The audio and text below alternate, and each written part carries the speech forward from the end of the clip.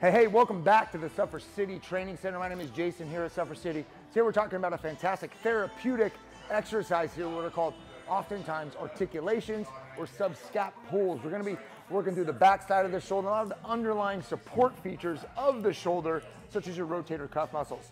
So what I'm gonna do is get a good strong elastic band here. Uh, you don't necessarily need a band, but it definitely helps to have this type of a band for this particular movement. I'm gonna start to set my hips way back. Now I wanna start to feel some stretch all the way from where my lat sort of originates here, way down, way down near the lower end of my spine. And then I wanna feel that stretch all the way up into the co connecting point, up into my shoulder here. So I'm gonna allow that stretch to happen for a little while.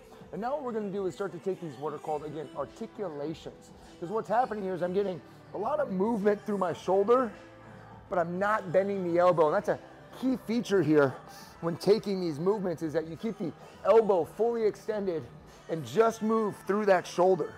And you can see a lot of the activity through the shoulder capsule, the backside, the subscapular muscles that uh, make up your rotator cuff are getting a lot of activity here. And it's activity that they oftentimes are neglected from because we're so oftentimes using those big motor units or the prime movers of the shoulder as well as the lat. But if we don't attend to some of these smaller supportive synergistic muscles like our rotator cuff, then what's gonna happen is they'll start to take on some undue stress and they won't have the strength and function to absorb it. So this tool here is fantastic with a horizontal pull using the band. Let's say you don't have a band or you wanna do a two-handed, kind of a slightly more challenging option.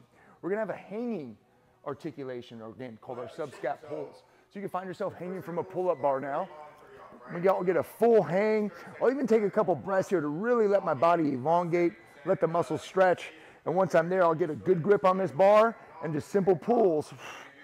Right back down, right back up. Again, notice the elbows stay fully extended all the way through the movement. And if I want to bring my feet forward a little bit, that'll activate a little bit more core.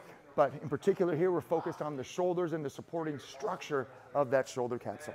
So again, this is a great tool, the subscap pulls or your articulations. Give them a shot to support that uh, shoulder. Until next time, my name is Jason. Go be great.